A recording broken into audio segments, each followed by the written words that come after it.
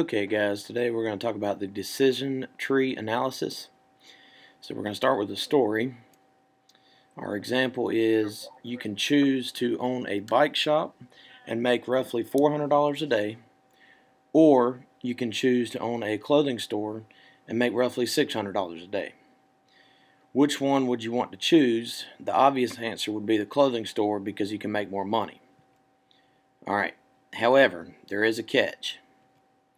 The bike shop has a 50% chance of success as well as a 50% chance of fail.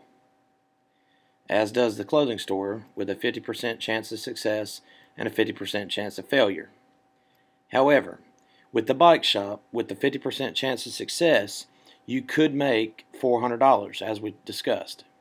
If you fail, you have the potential to lose $150. With the clothing store, if you succeed, you have a 50% chance of success of making $600.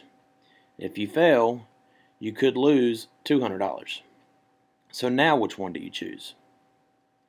Alright, the formula at the bottom is you take the 50% chance of success times the possible $400 you can make with that success plus the 50% chance of failure and the $150 that you could lose. And that gives you $125. That's for the bike shop. Let's do the same thing for the clothing store. 50% chance of success times $600, 50% chance of failure, and you're going to lose 200. So that value is $200. So for the bike shop, we could uh, our value is $125, and for the clothing store, our value is 200.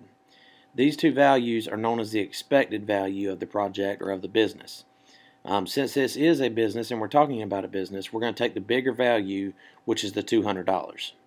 So that kind of helps you choose which one uh, you would want to go with. So the bike shop, uh, I'm sorry, the clothing store would be your better option.